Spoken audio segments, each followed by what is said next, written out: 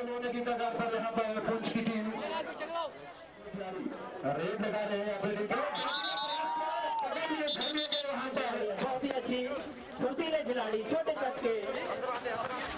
बहुत ही अच्छी रिच यहाँ पर दिखाई है। तो खतरा अपने लिए मोल ले लिया था।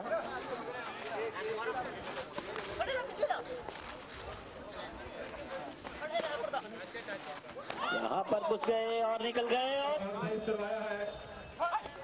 तारीफ़ के योग्य है तनवीर शेख कबड्डी एसोसिएशन प्रेसिडेंट हमारा जो मेन मोटिव है सर कि कबड्डी को उधमपुर में बढ़ावा देना खे, इस खेलों में मैक्सिमम यूथ जो है इसकी इन्वॉल्वमेंट करना ताकि वो स्पोर्ट्स की तरफ़ आए उनकी जो एनर्जी है वो पॉजिटिव वे में यूज़ हो और वो जो नशे से दूर रहें, हमारा जो मेन मोटिव है, ये हमारा एसोसिएशन का यही है कि हम इस चीज़ को ज़्यादा से ज़्यादा, जो हमारे गाँव के बच्चे हैं, वो भी इससे सीखें। हम इनके लिए कैंप वगैरह भी लगवाने वाले हैं।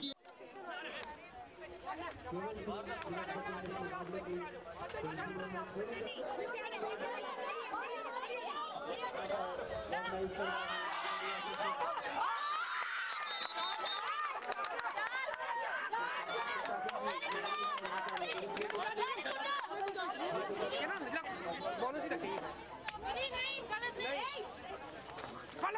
यास्मीन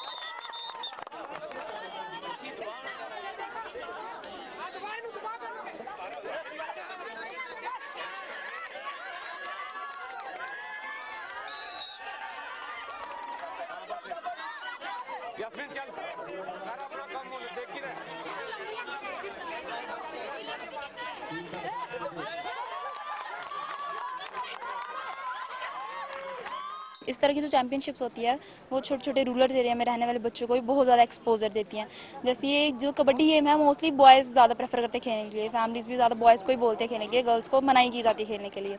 बट इस तरह के छोटे छोटे टूर्नामेंट्स होंगी गर्ल्स देखेंगी मोटिवेट होंगी बूस्ट होंगी। उनके दिल में भी जोश आएगा कि हाँ हमें भी खेलना है। जैसे यहाँ पे देख लो गर्ल्स की टीम थोड़ी इतनी ज़्यादा नहीं आई हैं। चार, पाँच छः जितनी भी टीमें आई हैं, थोड़ी आई हैं बॉयज़ के कंपेरिजन में।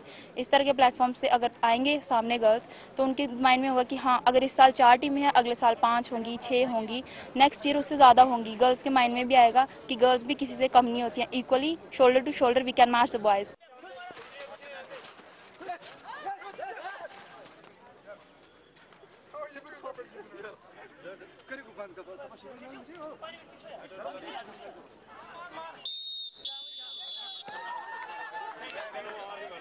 manufacturing